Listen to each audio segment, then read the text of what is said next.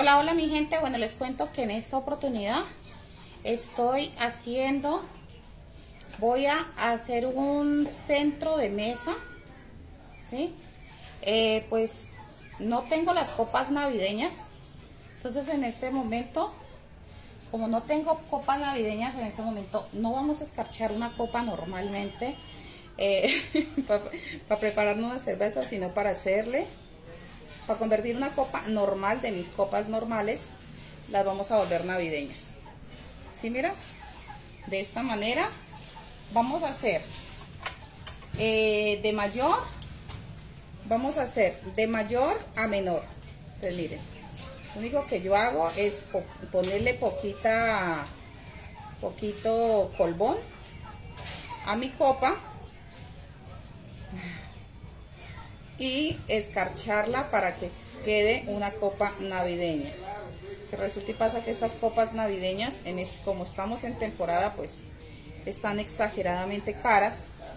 Y entonces a mí se me ocurrió esta idea, que así como escarcho mi vaso para hacerme mi michelada, también podía escarchar mi, mi copa para formar una hermosa copa navideña, mi gente bonita.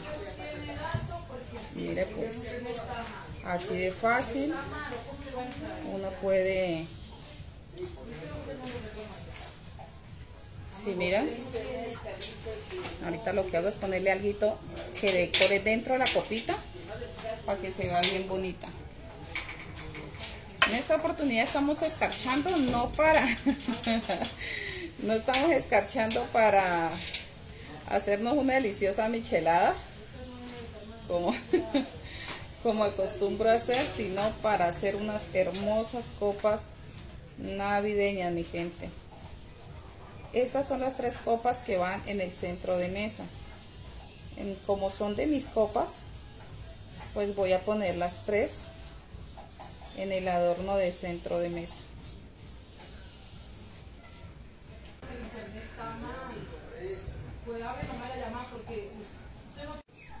Bueno, mi gente, yo aquí continúo. Estoy decorando mi copa para que sea una copa navideña. Colocando escarcha.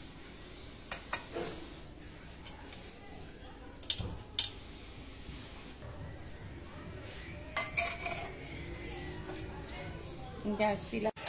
Hola mi gente, bueno, ahí ya he recortado un trozo de madera una laminita de madera delgadita, entonces lo que hice fue recortarla, hacer un círculo redondo. Con un palo de escoba saqué cuatro trocitos, que esos serían como las, las paticas de mi adorno de mesa. Ahí ya le coloqué la guirnalda, le, coloqué también le coloqué unas puntillitas para poder asegurar la guirnalda, que me quede asegurada de la tablita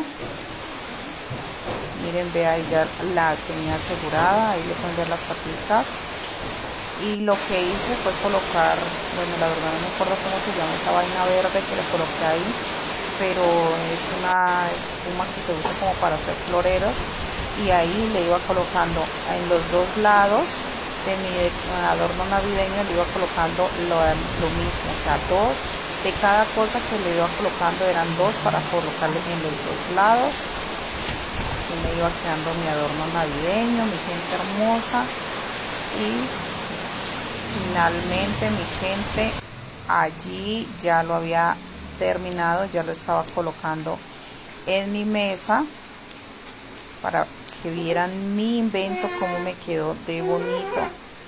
Miren pues mi gente. Opinen qué les parece.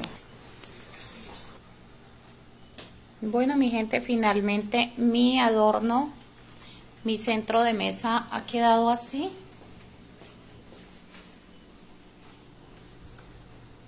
Y así se ve con las lucecitas, ¿sí?